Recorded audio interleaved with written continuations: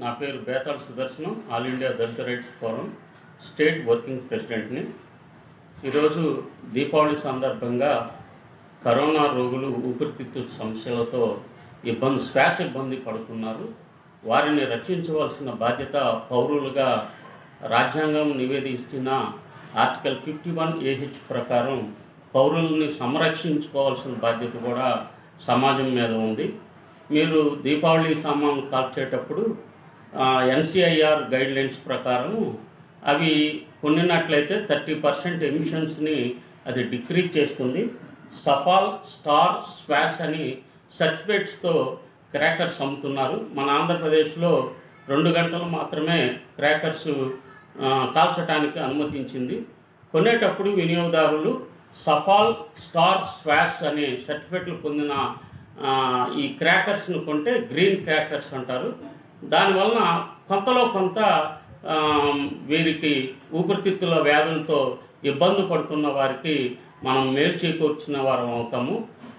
దీని ముఖ్యంగా మామూలు సహజమైన దీపావళి క్రాకర్స్ని కొంటే వాటిలో ఉండే పెర్కోలైట్స్ హైపోథైరాయిడియాన్ని కలుగు చేస్తుంది. సల్ఫర్ ముఖ్యంగా ఊపిరితిత్తుల వ్యాధుల్ని తగ్గించకుండా ఎక్కువయ్యేటట్లు చేస్తుంది. లోహ సమ్మేళనాలు స్ట్రాటియం అని పిల్లల ఎముకలకి నిరోధాన్ని కలిగిస్తుంది. అల్యూమినియం కోసం ఉపయోగించే క్రాకర్స్లో ఊపిరితిత్తులు మెదడు వ్యాధులను కలుగు చేస్తాయి అలాగే ముఖ్యంగా డయాక్సిన్ కలిసిన క్రాకర్స్ వాడితే క్యాన్సర్ కూడా అత్యధికంగా వచ్చినట్లు మనకి నివేదికలు తెలియజేస్తున్నాయి.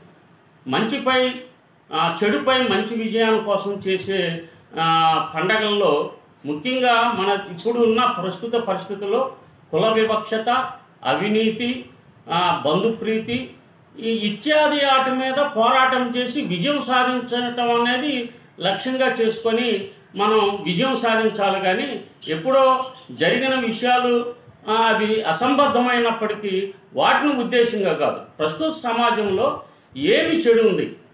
పెద్ద ఎత్తున కుల వివక్షత ఉంది అవినీతి ఉంది. ఈ రెండు పాలదోలటానికి సమాజం ఏ విధంగా కృషి చేస్తుందో విజ్ఞానులు విజ్ఞులైన పౌరులు ఆలోచించి దానికి అనుగుణంగా మన పండగల్ని ఆచరించుకోవాలని చెప్పి నేను all India Dalit rights forum తరఫున పౌరులకి విజ్ఞప్తి చేస్తున్నాను. జై భీమ్.